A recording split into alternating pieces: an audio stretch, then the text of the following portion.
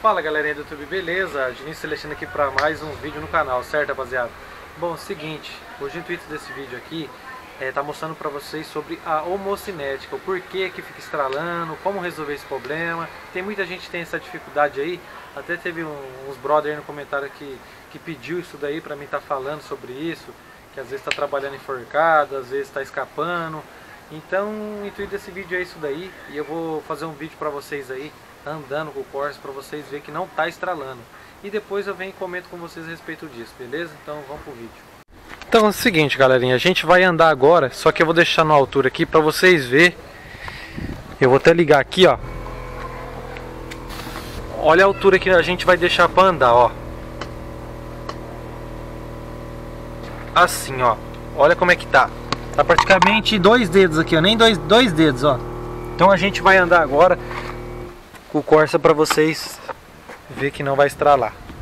Vou entrar aqui, ó, vou deixar gravando direto. Vou ligar o carro, né? E aqui é uma subida que a gente tá e a gente vai fazer um teste agora. Vamos ver se eu consigo aqui. Vamos ver se vai dar. Ó.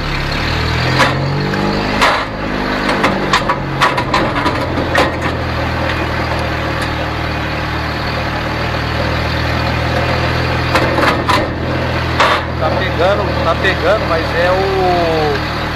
É a chapa do tanque que tá pegando. A gente tá andando, tá na subida.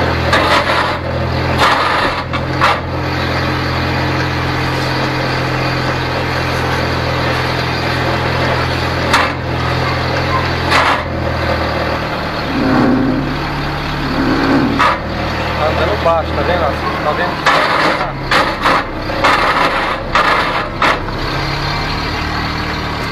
Vocês viram que vocês viram que deu para andar abaixo sem ficar estralando, entendeu?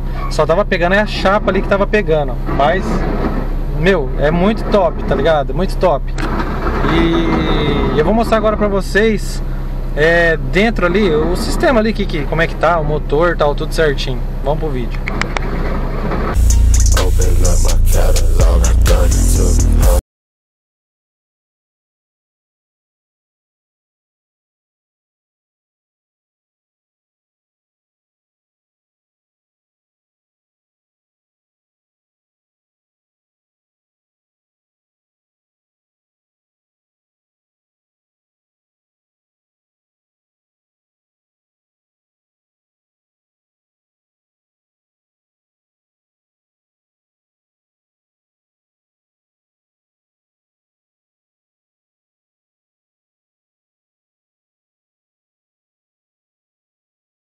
Então galerinha, é o seguinte, abri aqui ó, o capu, correto? E eu vou estar tá explicando para vocês aqui a respeito da homocinética, que muita gente às vezes né, tem dúvida. Eu vou explicar o que, que eu fiz no meu carro, por que, que parou de estralar, não estrala, anda abaixo, de boa. Primeiro que meu motor foi erguido da seguinte forma, como o meu carro é com ar condicionado, eu ergui aqui desse lado aqui, ó, o coxinha é diferente. Então a peça ela é aqui por cima. O que, que eu fiz? Eu quebrei a pecinha, ergui o motor, coloquei a pecinha por baixo, ergui esse lado aqui. E esse lado aqui, eu ergui os dois furos, eu ergui os dois furos, então eu ergui dois D do motor, o motor ficou totalmente reto, plano, de boa, e aí eu fiz a questão da homocinética. Homocinética ali, o que, que eu fiz? Como eu já quebrei três vezes a homocinética, galera, o que, que eu fiz? Eu tive que pôr um calço ali, que eles dão porque a homocinética parece que vem um pouco menor e eles dão um calço para poder jogar a homocinética lá dentro, para ela trabalhar certinho lá no câmbio.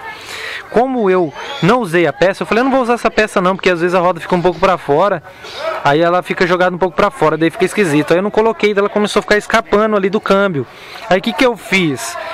Eu, em vez de eu pegar e usar a peça, né, para não deixar a roda um pouco para fora, eu fiz o trabalho do pivô e da bandeja ali com regulagem. Rasguei os dois furos para dentro, joguei o pivô tudo para dentro. Além da, de melhorar a roda ficar reta, eu joguei todo o sistema aqui um pouco para dentro. Então a mocinética trabalhou perfeita. Porém, a hora que eu fiz isso, que eu joguei para dentro, você tem que dar uma conferida ver se está trabalhando com a folguinha, porque tem que ter uma folga mínima. Por quê? Senão vai trabalhar muito enforcado lá. Aí o que, que acontece? Ela tá lá dentro, ela tá trabalhando muito enforcado lá dentro. Entendeu? Aí ocasiona de, de, de acabar quebrando, ficar estralando. Caso você ergueu o motor um dedo tal e fez o trabalhinho continua estralando, o que, que você faz? Você pega e ergue mais um, um dedo desse lado. Não tem problema do motor ficar um pouco deitado, mas pelo menos resolve. Teve uns colegas meus aí que fez isso daí no carro e ficou bacana, não tem problema. Ergue ali, porque você erguendo aqui, ela automaticamente vai ficar tipo meio que, que reto ali o semi-eixo, entendeu? Então não vai é, ocasionar algum problema aí, entendeu? Porque quando quebra, você leva para recondicionar, ela não vem a mesma coisa, entendeu? Ela vem um pouco menor, daí tem que usar um calço de 20 milímetros. Quem que já usou sabe o que eu estou falando, entendeu? Mas isso daí ficou bacana, além da roda ficar um pouco para dentro, que a roda fica aqui, ó. E ajuda também, né? A roda ficar reta para dentro, para de ficar estralando, dá para você andar abaixo, confortável de boa. E, e é isso aí, ó. Minha mocinética depois que eu fiz, acho que vai para dois a três anos que eu nunca mais quebrei ela depois que eu fiz esse sistema aí. ergui dois dedos aqui, né? A parte do motor, ficou quase lá pegando lá no cantinho, ó, quase em cima ali e resolveu o problema, tá? A parte ali que tem muita gente que tem dúvida ali do coxinho do câmbio, não precisa você, tipo assim, o coxinho do câmbio é mais ele para eliminar. Ali, tipo, no caso meu ali, eu subi um dedo só a parte de trás, não subi bastante. Um dedo só eu subi ali, tá? Então fiz isso daí, resolveu o problema, o carro não estrala, como vocês viram aí no vídeo. E ficou show de bola, mano. Então é isso aí, espero que vocês tenham gostado. Também quero mandar um salve pro Baixo Canoas aí, que a gente agora tá unido aí. Quem não sabe, é lá do Rio Grande do Sul, lá a cidade de Canoas. Os caras, mó firmeza, gente boa, satisfação total. E é isso aí, o Corsinha tá aí, ó, vai para todo canto, viaja, tudo. E espero que vocês tenham gostado, meu. Espero que vocês tenham gostado. Se inscreva no canal, você ainda que não é inscrito aí, ó, para ajudar a gente aí. Se inscreve aí, mano. Rapidinho aí, ó. Se inscrever. Ativa o sininho de notificação para você ver os vídeos que eu vou postar. Vai ter às vezes um daily vlog, também vai ter é, os vídeos de eu dando dica tal. Também quero pegar um tempo aí para erguer ele, para mostrar embaixo ali tudo, o assoalho. Vou dar bastante dica para vocês aí. Também quero mandar um salve aí pro povo aí que que acompanha a gente aí, que sempre tá tá nos acompanhando aí no canal, né? Já é antigo aí no canal. E bastante pessoa também aí pede aí pra mim dar umas dicas aí, fala assim, ô Juninho, faz isso, mostra aquilo. O, mandar um salve também pro NASA Umerly. Ele que falou da homocinética aí, que quando anda abaixo aí no limite se estrala. Tá aí o vídeo, mostrei pra você aí. Espero que você tenha gostado e a galera também. E é isso aí, tamo junto, fechou? É nóis.